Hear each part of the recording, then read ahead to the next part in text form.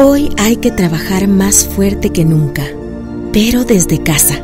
En Quito no hemos bajado los brazos.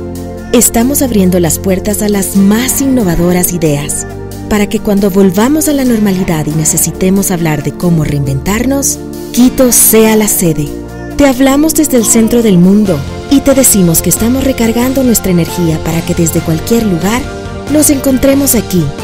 Nos vemos pronto. Quédate en casa. Stay at home. Tu historia comienza en Quito.